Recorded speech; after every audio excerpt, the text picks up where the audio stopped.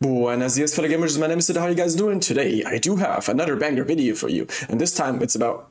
Well, actually, I think there's something wrong with the camera. Let me adjust that real quick. there we go, dude.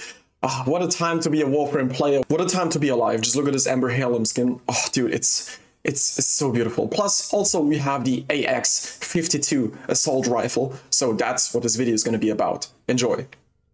You like Warframe and always wanted an AK-47 assault rifle? Now's the time.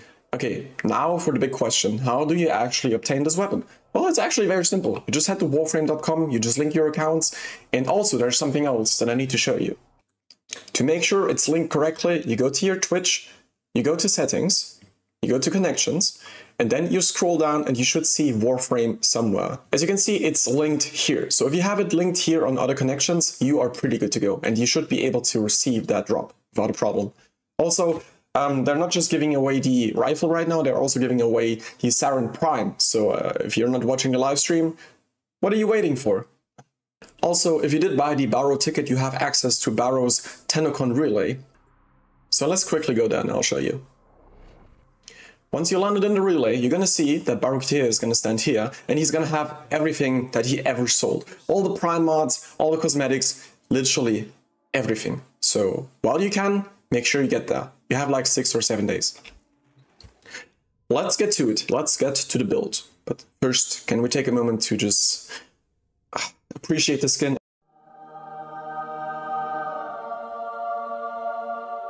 It just, it just, it's just, no, dude, it's just, it just, I can't even speak, it just looks too good. That's, that's how good the skin is, it just leaves me speechless. Anyway, let's proceed to the build. The AK-47 slash AX-52. So it comes with a unique trait. If you fire from the hips, you have a 60% ammo efficiency. If you aim with headshots, you have a 100% critical chance. Pair that with primary deadhead and you have a ton of critical damage. I'm pretty sure there's some sick people out there that already have a ribbon for that. I mean, it's it's a one ribbon dispo, so it's not going to be that high, but still. Okay, so when it comes to the mods, what did Bro go for?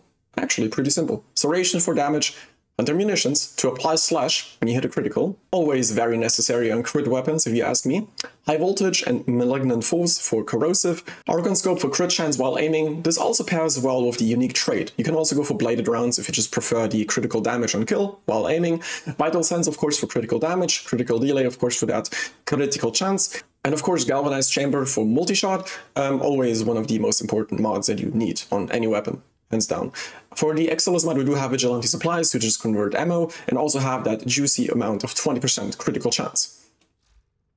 As you can see, I did mod for Corrosive. If you want this to be even more devastating and dangerous, you should equip Emerald Archon shards. Note, they don't have to be Tau Forged. Having two normal green shards equipped already strips all of the armor. Combine that with Nourish, and you have Corrosive, you have Viral, and you're good to go. Okay, time to show something in the simulacrum. 20 corrupted heavy gunners, steel path, let's go. As you saw in the build, we have primary merciless. Now we don't have any buff, okay? We don't have any buff. We just need to kill them first to get that merciless damage. So what you can do, uh, as shown in the build with the unique trait, you can either fire like that, and you're gonna see you're gonna shoot a lot of bullets, but the critical chance is not that high. So what you can do, um, and that combines well, or pairs well, uh, rather, with the Argon Scope mod, you can aim and you have an insane critical chance. Look at that. Like, I don't have any critical chance buffs. You can further enhance that.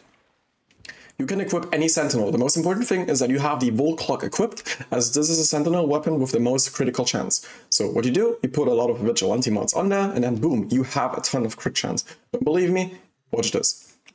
We're gonna go over there, cast Nourish, I mean, the crit chance you're getting is, is freaking insane, dude. Just watch how fast this enemy is gonna die. Like, he didn't even have a chance. Just look, dude. What? if you want to have even more critical chance, there's a video. Um, the link is in the description down below if you want to check that out. I made a Frost Prime video, so make sure to click on that. Either way, there's one Frost augment, it's called Biting Frost. Frost gains 200% critical chance and 200% critical damage against frozen enemies. So basically, if you freeze them, and if you also have Nourish, you're gonna see something wild, dude. Like, how many bullets is that per enemy? Two? I don't think that's even fair, dude. And now imagine you have a Wisp or something like that in your team that boosts the fire rate. Or an Arcane maybe, that boosts the fire rate as well. It's gonna be insane, dude.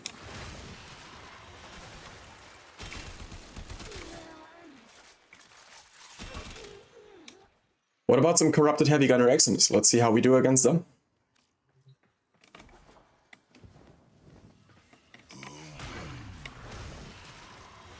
Time for Nourish, time for Freeze, and let's go, dude. So, that's like 3 to 4 bullets, as you can see, and they're already dead. Already dead.